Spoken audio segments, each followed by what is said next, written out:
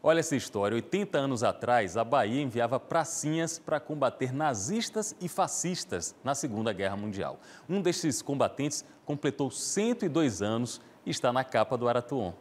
Quem conta pra gente é Joana Castro. Boa noite.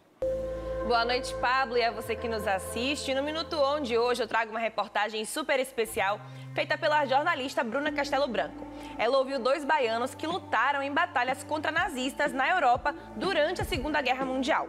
Um deles tem 102 anos e relatou os conflitos com detalhes. A jornalista também conversou com a filha de um terceiro veterano que guardou documentos e objetos da época.